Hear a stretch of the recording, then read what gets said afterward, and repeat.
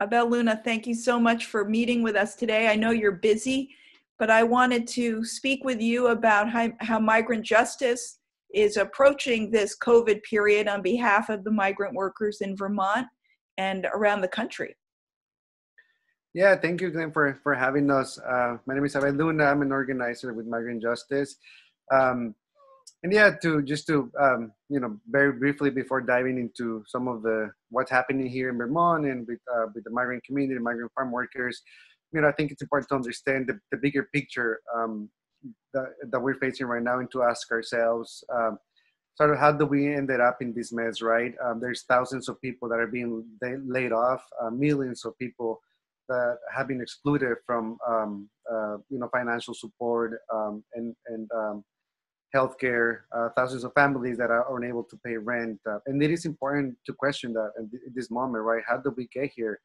Um, you know, it's, and it's important to understand that this is a perfect time for, you know, the right wing for, you know, power, um, you know, to seize the opportunity and to push their agenda, right? To continue to get richer and richer while, you know, communities, um, as the migrant communities and other, you know, working class communities continue to suffer um, and are left fighting for the leftovers, right? Um, and to even make it worse, migrant communities are not getting any of it. And and so, you know, what what is happening in Vermont, and and um, so there is a you know, my, uh, as the government has deemed farm workers essential. What does that mean, right? Um, so farm workers have to continue to get up every day, every morning, um, milk the cows, um, continue to work. Uh, with uh, unsafe working conditions, lack of protective equipment, um, uh, overcrowded housing, two to three people uh, per room, um, you know, and um, for example, as the government, you know, is calling for people to uh, self-isolate, um, to stay six feet away from each other, to stay home. That is a reality that people cannot, uh, farm workers uh, on, on dairy farms cannot uh, live uh, because of things that I that I mentioned above, right? And um, these things are not new. These conditions are not new. They have always been there before the crisis um, started to sweep the nation, uh, and they just have gotten worse now with the pandemic um, for the migrant community and, and so what are we doing as, a, as an organization uh, here in Vermont? Um, um, there's two main things that, that we're focusing on right now, uh, access to healthcare and also economic assistance. Um, and for that, we're talking to legislators and representatives um, and, and uh, Senator Leahy and Sanders and Representative Welch's office. Um, you know, but some of the things that we're, that we're saying is that, you know, it's great that there's free testing uh, for, uh, for the virus, but there's no for example, um, related treatment assistance, right? Uh, if you test positive, if you need to spend more money, there's no coverage for that. Um, you know, it is a great idea. Also, that um, the state of Vermont has actually expanded Medicaid to cover uh, more people, but migrant farm workers are not um, have not been included on that. Um, you know, and this is a time of crisis, and it's a, a public um, health crisis, and everybody, you know, should have the right to, to coverage. Um, and, and so we're saying that there is this, uh, Medicaid has this emergency fund um, that in other states, for example, in Massachusetts, New York, and Oregon, have been used um, to expand um, that emergency fund to cover uh, migrant communities. And that's something that Vermont can do uh, in the broadest way possible. And we need Vermont to take that stand um, to protect, you know, the, the the community that is making sure that the, their industry collapses uh, in this time of crisis.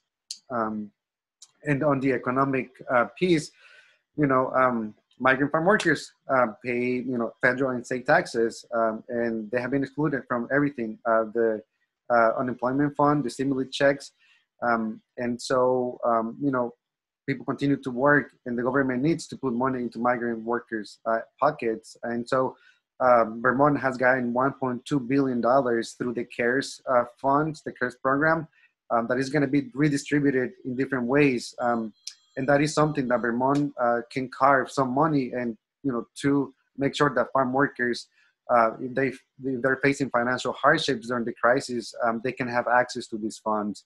We have seen it with Texas, we have seen it with New Jersey, and we have seen it with other cities across the country. Um, you know, putting funds aside um, to protect farm workers that are that don't have money right now. And just yesterday, California, um, you know, created a 120 million dollar fund just to assist migrant communities. Um, and that's what we're uh, pushing here in Vermont for. um, you know, their money is here in Vermont, um, and it needs to, you know, it needs to include migrant migrant farm workers. Otherwise, um, you know, this is not, we're not, um, we're not doing anything. So, what kind of response are you getting from Vermont legislators on the idea of expanding coverage to the migrant community? Um, community.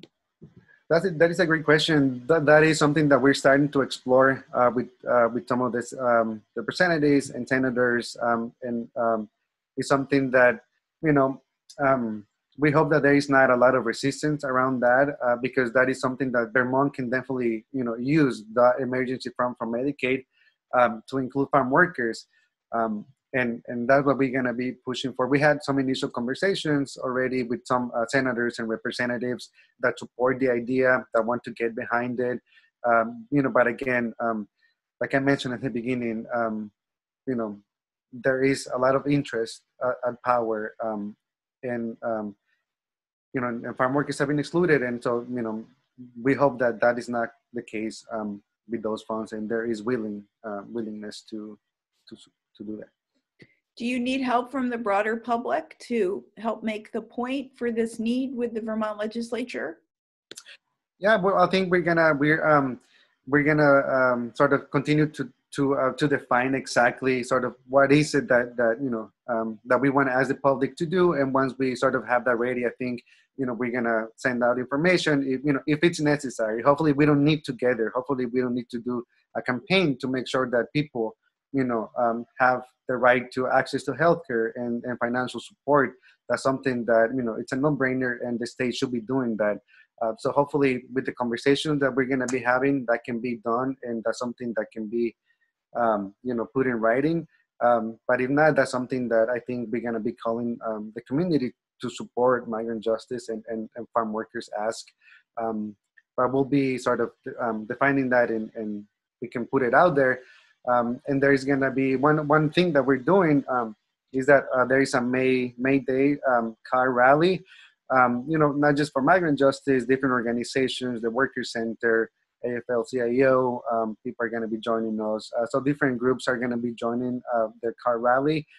You know, and it is to uh, to represent those um, you know working class interests um, and and that could be something that maybe on May 1st we are, we decide to push for something um, you know the state has to do something um, you know but we want people to to come to join us um, yep. Well that may day rally will be a lot of fun i think because people even if they can't be physically together would have a, a good time in their cars driving around certainly together and making the broader point about how working people in this country and in our state are being taken care of or not being taken care of given that they are, many of them, providing the essential work that is keeping the economy and healthcare going. Yeah, and it is important for people, you know, um, I, know that, um, you know, we need to take measures and, and stay safe and keep safe, you know, but at the same time, you know, it's important for people to, to stand up and to, you know, to, to work together, to organize. Um, like I mentioned, these are times where um, you know, power is going to cease to take opportunity and, and to rise in popularity and, and, to, you know, do its thing. And they never rest, they never stop. And we have to do the same thing. We have to continue to organize. We have to continue to come together, especially now, um, different communities that have been doing work in, in, um, you know, in, uh, in their own areas. Now we need to talk to each other and come together um, and make sure that, you know, we're fighting this battle together um, as, as workers um, and, you know, as people who are being sort of you know left out of a lot of the benefits. And so it's important to to fight and, and to stand up. Well now more than ever especially that we're we're physically apart from each other but we need to be united. Really i think your point about the forces of capital never sleep and they're very adept at getting um, bailed out so so being able to as working people make sure that the people who need it the most are protected is really important role. And I would like to thank you and your coworkers at Migrant Justice for keeping this fight going today and always. It certainly is an uphill battle, and there isn't anything that the United States is doing to make it easier for the people that produce the food we rely on. Yeah, no, thank you for having us and yeah. Great. All right, Abel. It's great to see you. Thanks for joining us.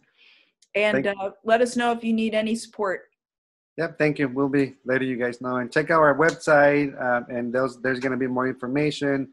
If you want to show up to the May Day, uh, send us an email at info at migrantjustice.net uh, for more, more information. All right. Well, we'll get the word out too. Thanks a lot. Thank you. Take care.